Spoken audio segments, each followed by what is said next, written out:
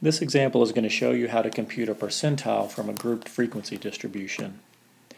In particular, I'm interested in finding the 50th percentile, P50. The 50th percentile is also called the median.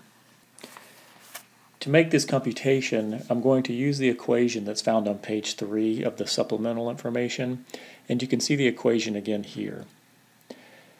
To solve this equation, you basically need to find various terms. And I'm going to start with x of L, which is the value of the lower bound of the interval containing the percentile point. So to find x sub L, I need to find the interval containing the percentile point. And if I look at the cumulative percentage, I need to find the one that has uh, 50 in it, 50% in it. So I can see the second interval goes up to 30%, and the third interval goes up to 53%. So my 50th percentile is going to be in that interval. And I need the lower bound of that interval. And you can see it's 95.944. So x sub L is going to be 95.944. Next, I need to find f sub p, which is the frequency of scores below the percentile point.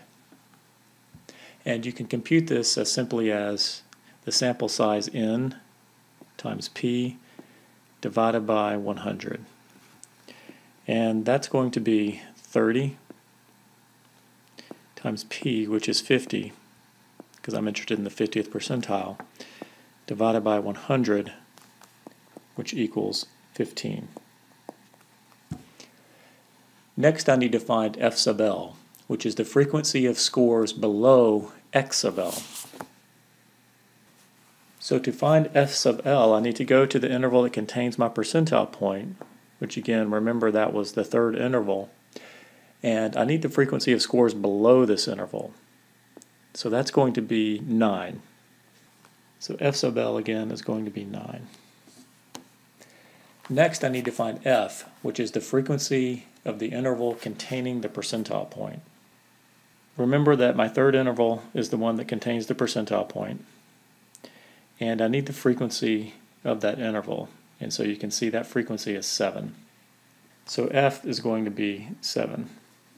Now, if you remember from the demonstration on how to create a group frequency distribution, I created this distribution using a interval width of 7. So h is going to equal 7.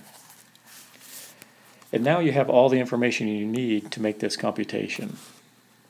So I'm just going to plug in the values. So x sub L is going to be 95.944 plus the interval width divided by the frequency. And that's going to be multiplied by f sub p minus f sub l, which is going to be 15 minus 9.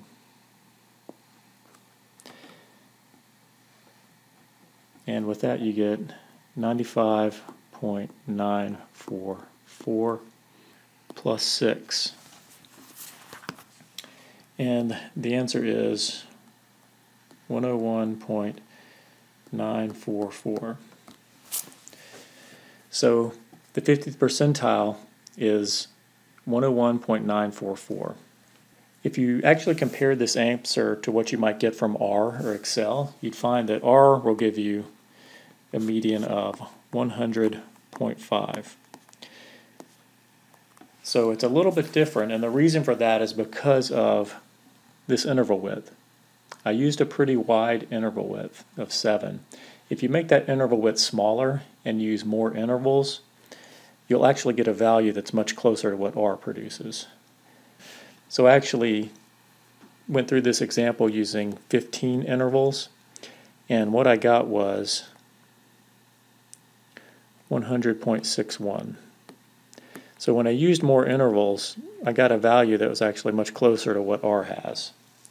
So don't view this answer that you get here as being wrong. It's just simply affected by the width of the interval.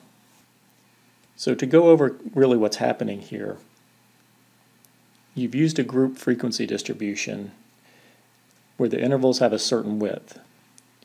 And in doing this computation, you found the interval, the lower bound of the interval that contains the point, but you don't really know where in that interval the point actually lies. So what this part you're adding to that lower bound of the interval, it's just an amount that tells you, okay, how far into the interval do you need to go to find the median value? And in this case, we found we had to go, you know, six points in to get to the median. And so that's it. That's how you compute a percentile from a grouped frequency distribution.